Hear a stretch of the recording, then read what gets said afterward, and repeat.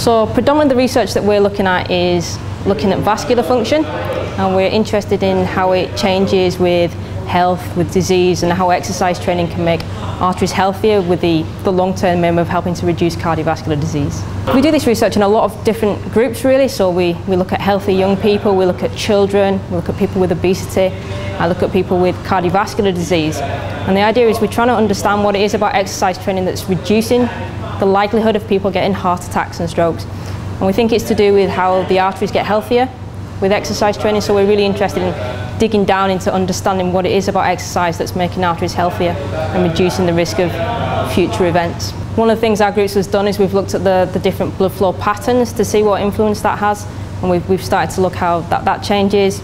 We've, we've certainly seen big improvements in vascular function in, in children with obesity. We've seen it in different cardiovascular disease groups. We use ultrasound, um, so that's the same technology you use to scan pregnant women but we're looking at the arteries. Um, we do a test called flow mediated dilatation, or FMD for short, which gives us a, um, an index or an idea of how healthy the arteries are.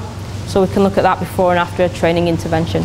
So this is the analysis of the data that we collect from an FMD test. So we have the artery diameter along here, and we have the blood flow along the bottom. So here we have our resting measurement. So if we, we um, analyze this, we have one minute rest, this is the five minute period when the cuff is inflated so no blood is getting past the artery at this point into the lower arm. When we release the cuff, you can see here there's a very large increase in flow and that's stimulating the artery to release this substance and in response the artery will then relax and get bigger so we can see this increase in diameter. So if we calculate this, our software, our custom designed software will automatically calculate the percent increase from baseline to the peak diameter and that's our test of artery health. It's a substance called nitric oxide and as well as causing the artery to dilate, it protects against the process of atherosclerosis. So that's how your arteries get harder, and it's the first step in developing these cardiovascular diseases. So if you have a healthy artery, you have a lot of nitric oxide and it will relax a lot, so it will get a lot bigger.